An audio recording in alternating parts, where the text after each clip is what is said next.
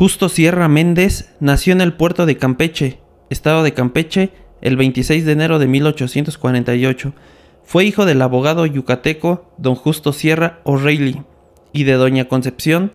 Principió sus estudios en la ciudad de Mérida, estado de Yucatán, y los terminó en México, a donde se trasladó su familia a la muerte de su padre. En el Liceo Franco-Mexicano y más tarde en el Colegio de San Ildefonso donde realizó brillantes estudios y se reveló su vocación literaria. Se recibió de abogado en 1871.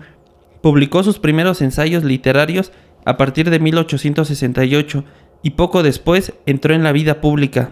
Fue varias veces diputado al Congreso de la Unión y magistrado de la Suprema Corte de Justicia. Ocupó durante algunos años la cátedra de Historia en la Escuela Nacional Preparatoria fue uno de los directores de la Revista Nacional de Letras y Ciencias y colaboró en las principales publicaciones periódicas de su tiempo.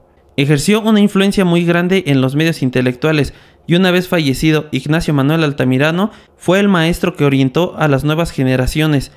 En la antigua Secretaría de Instrucción Pública y Bellas Artes fue nombrado titular de ella, cargo que desempeñó de 1905 a 1911, cuando fue designado ministro plenipotenciario de España.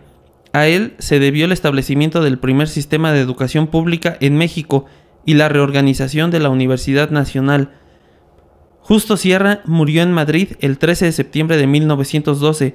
Su cadáver fue traído a México y sepultado con grandes honores públicos.